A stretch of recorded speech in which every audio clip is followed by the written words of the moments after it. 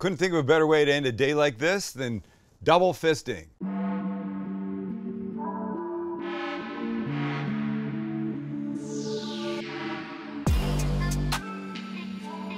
We're showing you four crazy delicious burgers, all under five bucks each.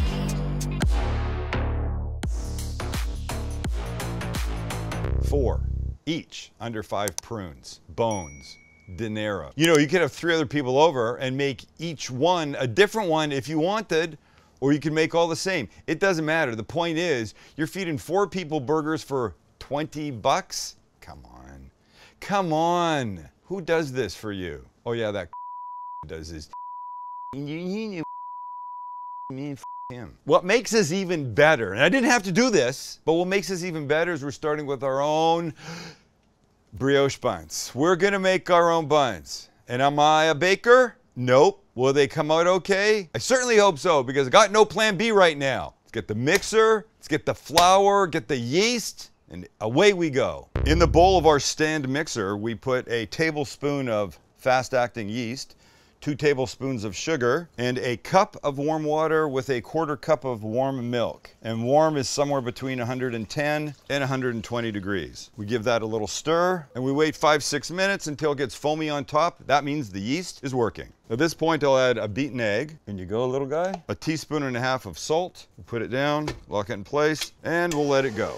We want all this to mix now. So give this just a couple minutes to combine we stop it, we get rid of the paddle, we put on the hook, down we go, we get it going, and we start introducing three and a half cups of flour, little bit at a time. Now we'll put in a couple tablespoons of soft butter and leave this alone for, you know, eight, nine minutes until it's smooth and soft. And when it's done, put it on a lightly floured surface like that. Give it a tiny bit more flour over the top. And this we just want to knead for a couple of minutes to make sure it's smooth. It's lovely smooth. And when it is, get your guy into a beautiful ball. This we want to turn into eight smaller little balls. So we'll do this. We'll cut in half first, and then each of these into four. And with a little more flour on the deck, we'll roll each into its own beautiful, perfect little ball and put them on a parchment-lined baking sheet or one with a Silpat, preferably with my face on it. These guys we're going to cover with a clean kitchen towel, put inside where it's not cold but not boiling, leave them for 15 minutes, then we carry on. And at the end of resting, here's what we've got.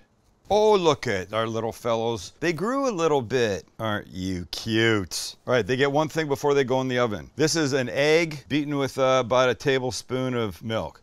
Well, I didn't have milk, so it's technically it's cream, but it's gonna only make it better. And now we brush everybody all the way around. And if you want, and only if you want, this is the time to put some seeds on top or whatever you want. For example, this is everything bagel seasoning. Not a bad idea. How about we do two of those? How about we do some sesame seeds on these guys? We'll leave a couple plain. And these guys here on the end will get a little bit of the basic sesame seed. And then we'll complete with some black, just for some prettiness. I'm always thinking about Max's pictures. Oven's at 400. These guys are ready. And they go for, I'd say, 17 to 19 minutes until they're brown and beautiful. Start with a couple things that are going to go on or in our burgers. So a little olive oil in both. And this first one will get some sliced yellow onion. I haven't even said what I'm making yet. Should I say or no? This one is going to get some diced red pepper. Okay, I'll turn over all the cards and I'll tell you that this one is going for a French onion burger. This one is going to be for a pesto mozzarella burger with a red pepper mayo. Nice. And when the burgers are all made and built and beautiful, and you're looking at them, we'll show you the prices of what these all cost. Meanwhile, we'll get started with some jalapenos. Into this bowl go some sliced jalapenos. We don't need too many, we're just making one burger, but I want a couple extra just for eating. So in they go. If you get a little bit of juice in there like that, all good. We're gonna add one other thing. That would be some buttermilk. And this will just sit 10 minutes or so till we need them.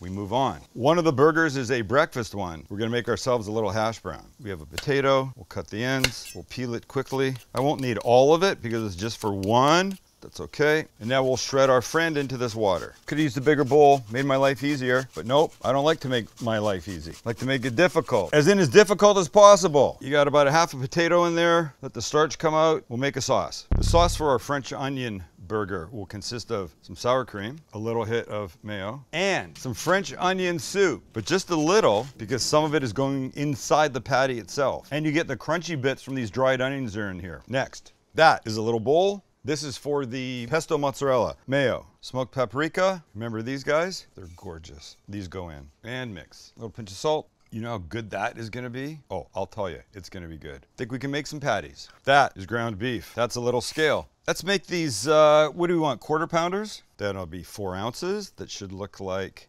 3.84. I was so close. So we need two, so we'll make one more. Next we'll make a sausage and a chicken one. Four pork breakfast links that don't have a casing on them. They're about four ounces. They just need to be mushed and a little patty made. Very simple. We'll flatten that when it goes on. And now the chicken. We've talked about it before, how a chicken thigh is one of my favorite insides for a patty. So here's what we're gonna do. This guy is a third of a pound leaving the fat on because there's a good fat to regular chicken ratio that will help. I'm gonna chop this up one direction, change directions, cut it again, and then give it a good chop so we end up with what essentially is a ground chicken thigh. Gather it up, and on you go. I'm gonna make a hash brown now. Remember this? My potato that I've squeezed most of the water out of, but I can't do it completely with my hands, and we don't want them wet. So inside of a towel it goes, and watch, get what's left. Oh, I did a very good job. Mm, not much. Get a burner. That pan is dirty because the onions were in it that will add extra flavor. And in goes a little hit of oil and some butter. And when they melt, in goes the potato, like now. Let's just press this kid down. We want one nice flat little potato pancake for our breakfast one. Looking good, bud, looking good. Now over the next few minutes, this guy is gonna cook and get beautifully crispy on that bottom side. And when he does, we'll flip him over. But right now, we'll just start with a little BFF on the top and say, see ya, we're coming back to you. Remember this? This is my new cookbook, Sam the Cooking Guy and the Holy Grill, that comes out March the 12th. You know what's in it? Things like this. Look at that. One damn fine smoked burger. How beautiful is that? There's tons of other stuff. Smoking, grilling, the whole outside thing, you're gonna love it. But get ready for this. Barnes & Noble is offering a discount. The book's not even out yet. Barnes & Noble is offering a pre-order discount on this book to their members 25% off. 25% off for basic members, and the premium members get another 10% off as long as you do it between today and Friday. That's January 24th to 26th. All you have to do, the, the link is below. Click the link below and use the discount code PREORDER25. 25% off this. It hurts my feelings of giving away my book so cheap before it even comes out, but I love them. The link is below. Barnes & Noble members, 25% off basic, 25% off plus another 10% off for premium members between today the 24th and Friday the 26th. Get in there and do it, would you? Why pay more if you don't have to? It's bacon time for the French onion dip burger. And while that's there, let's prep our patty. So you remember one of these guys, right? Here's what we're gonna give it. Just a little hit of this French onion soup package mix. Oh boy, this is making me happy. We'll give this a little pat down when it goes on the grill. This is ready, the bacon's getting ready, our little sauce is ready. You haven't seen the buns. Why don't you let me get those and we can see what we're dealing with. But before I show you, let's flip this kid. Crispy, amazing, that's what you want. That's everything you want. All right, that'll go off to the side. That will finish. And now the buns, wait for them. There we go. We did all right, kids. We did all right. So Max, the first one we're gonna make is this French onion one. I'm going that guy. I'm going the everything bagel because there's onion in this. Oh, that's a beaut. That is a beaut, all right. Let's flip our bacon. That's perfect. Boy, nothing wrong with bacon, is there? A little French onion guy gets a little oil and a smash but not too big of a smash. We're not going flat, flat. We're going like that. All right, we're about to flip it, but I want to give it one thing. Some fresh ground pepper. There's enough salt in that French onion soup mix that if you add salt now, you're just gonna kill yourself. And we go. Sacre bleu. I love a crust. You always get a crust on a smash burger, not always on this kind. That's why I like a flat top for this. It's perfect. But while we're waiting, let's get our bun a little toasty. There's a top and a bottom and butter always helps. And here's our guy looking beautiful, and they will not take long. Let's throw some cheese on top of our little patty. And French onion would require Swiss cheese on top, and that is what I'm using. To help our cheesy boy melt, put a little water in our hat. And this, ladies and gentlemen, is ready to come off and get built. First on, the French onion soup mix stuff. Because, please? Why did I say please? Next comes our patty. Oh, gorgeous. Then our bacon. Remember our caramelized onions? I hope you do, because they remember you. And the top of our very own homemade brioche bun. Thank you very much. Uh, I guess I gotta have a bite. I mean, I don't want to. Bullshit, I do. Uh, here. Yeah, medium rare. When I thought about this, I thought there's a chance it could be onion overwhelming, and it's not. It's a great amount in the patty itself, the sauce, and then the onions and the bacon just it just happens. It just comes together. Oh my God. All right, one more bite. And we're moving on to the chicken because you're gonna like that one. Time for chicken. But before we get it on the flat top, we're gonna season it a bit. Little smoked paprika, a little bit of cumin, little garlic powder, little BFF. And then just mix together nicely. Ball it up. We'll put it on in a second. Just let me prep the jalapenos first. That is flour, that is cornstarch, and we mix them. Here's the jalapenos. They've been soaking in the buttermilk. So here's what we do. We drain off most of the buttermilk and just drop them in. And once they're all coated and lovely, we'll drop these guys in in a second. But once they're covered, we'll leave them and address our chicken pate. A little oil down, and then our chicken. Hello, buddy. Gentle pressure. Oh, that makes me so happy. Now there's no binder, there's nothing keeping it together. So if it starts to separate a little bit, it starts to separate a little bit. Is that the worst thing in the world, Max? No. Thank you, of course it isn't. Our oil's ready, our jalapenos are ready, me, Max, and Chance are ready. So let's go. In they go gently. Try not to splash yourself and just spread them out a bit. These are only gonna take a couple minutes. And while we're waiting, let's flip our chicken. We're putting cheese on, but we're gonna wait a couple minutes. Chicken does take a bit to cook through. Jalapenos ready and crispy and magnificent. Oh, I'm gonna love this. Look at this. Look at it. It's cheese time for our little friend.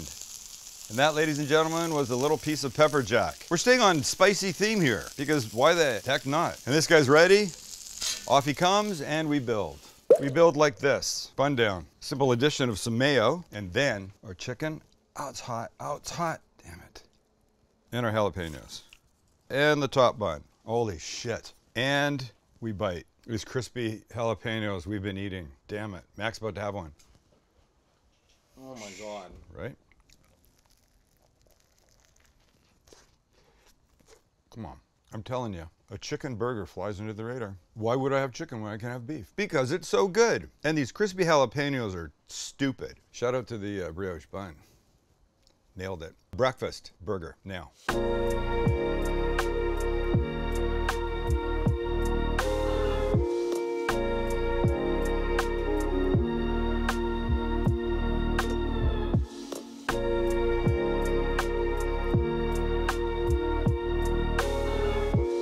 Our breakfast burger begins with the lid coming off and a combo of mayo and grainy moutarde. That's mustard in French, and on it goes. Followed up by our beautiful, crispy, gorgeous hash brown, our sausage patty, and our egg, and our lid. Hello, fellas. I mean, hello, fella. And our final one, the red pepper pesto. Starts like this. It starts with a beautiful little swipe pesto on the bottom of the bun. And damn, pesto honestly is one of my favorite things. And our patty with the provolone. I think this is the simplest one, but this is gonna be the biggest flavor bomb. And then this. Remember this sauteed red pepper biz? Oh yeah. And it looks amazing. And this kid goes like that. Now that's a burger. Couldn't think of a better way to end a day like this than double fisting our last two burgers. This kid, the breakfast one with the flat egg, the sausage, the homemade hash brown, the homemade brioche. And over here, the pesto, red pepper mayo, mozzarella, mozzarella. I'm going breakfast first. Mm. The mustard's a great add, but that crispy hash brown in here, everything, everything. And now this friend. Look how beautiful that is. That red pepper mayo with a little smoked paprika. Damn it four epic burgers, each under $5.